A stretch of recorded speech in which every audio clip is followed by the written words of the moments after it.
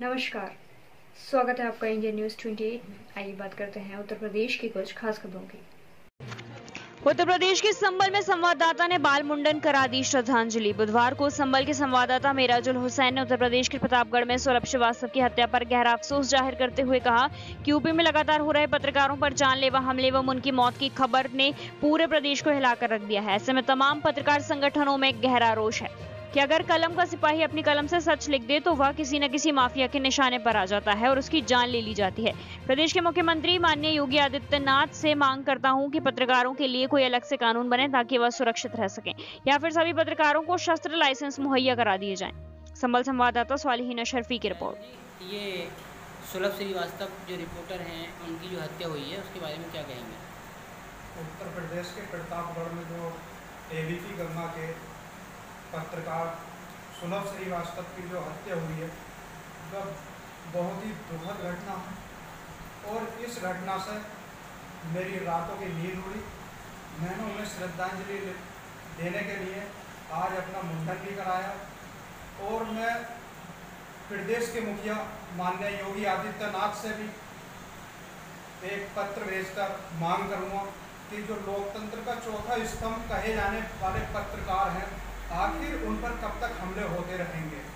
अगर वो सच लिखें तो किसी न किसी माफिया के हत्या चढ़ जाते हैं और उनकी हत्या हो जाती है।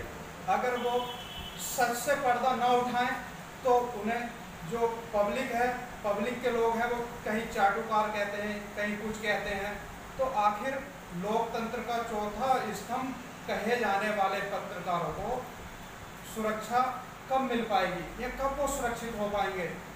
एक तरफ़ जो है, इतनी गर्मी होने के बावजूद भी एक पत्रकार इतनी तेज धूप में निकलकर ये देखता है कि कहीं कोई बेसहारा, कहीं किसी धूप में परेशान तो नहीं है। कहीं आज टेम्परेचर कितना है, गर्मी का तापमान कितना है, वो एक धूप की बिना परवाह किए हुए वो धूप में जाकर देखता है। बरसात के मौसम में जब बरसात में दुनिया अपने घरों में कैद होती है तब एक पत्रकार जाकर देखता है कि कहीं किसी के घर तो नहीं गिरा या कि, कहीं किसी के घर में पानी तो नहीं है ताकि कोई किसी का परिवार का सदस्य या कोई बारिश में तो नहीं भीग रहा।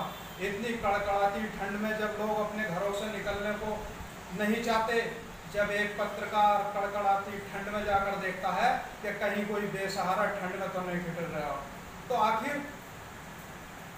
सब कुछ त्याग करने वाले और लोकतंत्र का चौथा स्तंभ कहे जाने वाले पत्रकार कब तक इन माफियाओं की बलि चढ़ते रहेंगे? मैं प्रदेश के मुखिया माननीय योगी आदित्यनाथ को एक पत्र लिखकर भी उनसे मृतक के परिवार को एक करोड़ रुपये मुआवजा तथा उनके परिवार में किसी सदस्य को नौकरी देने की मांग भी करूँगा।